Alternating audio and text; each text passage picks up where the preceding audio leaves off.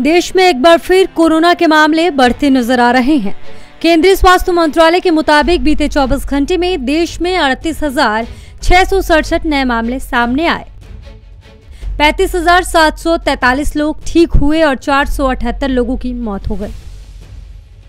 नए मामलों में संक्रमण दर एक दशमलव सात तीन फ़ीसदी दर्ज की गई।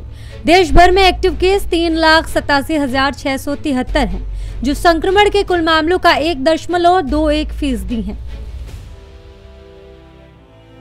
भारत में कोरोना वायरस के खिलाफ वैक्सीनेशन का आंकड़ा तिरपन दशमलव छह एक करोड़ के पार पहुँच गया है।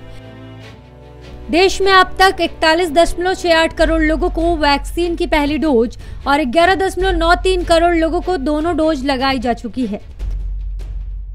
देश में संक्रमण के नए मामलों में आधे से ज़्यादा केरल से मामले सामने आए हैं। शुक्रवार को केरल में बीस नए केस आए और 114 मरीजों की मौत दर्ज की गई। यहाँ एक्टिव केस की संख्या एक लाख अस्सी हज़ार है, जो देश के कुल सक्रिय मामलों का छियालीस फ़ीसदी है। राज्य में पॉजिटिविटी रेट चौदह दशमलव तीन पाँच फ़ीसदी है। वहीं महाराष्ट्र में शुक्रवार को कोरोना संक्रमण के छह हज़ार छह सौ छियासी नए मरीजों की पुष्टि हुई और एक लोगों की मौत हो गई। देश की राजधानी दिल्ली की बात करें तो लगातार यहाँ तीसरे दिन कोरोना वायरस से किसी की जान नहीं गई।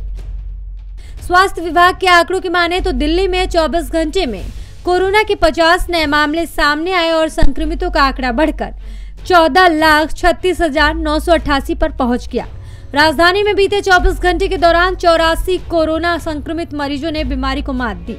इसके साथ ही आंकड़ा बढ़कर चौदह लाख ग्यारह हज़ार चार सौ बावन पर पहुँच गया। दिल्ली में अब एक्टिव मरीजों की संख्या चार सौ अड़सठ है। राजधानी में कोरोना से अब तक पच्चीस हज़ार अड़सठ मरीजों की जान जा चुकी है। संक्रमण दर की बात करें तो ज़ीरो दशमलव ज़ीरो सात प्रतिशत दर्ज की गई। स्वास्थ्य विभाग की ओर से जारी आंकड़ों में ये जानकारी सामने आई। महामारी की दूसरी लहर शुरू होने के बाद से यह नौवीं बार है जब एक दिन में किसी भी मरीज़ की मौत दर्ज नहीं की गई। ब्यूरो रिपोर्ट, नवोदय टाइम्स, नई दिल्ली।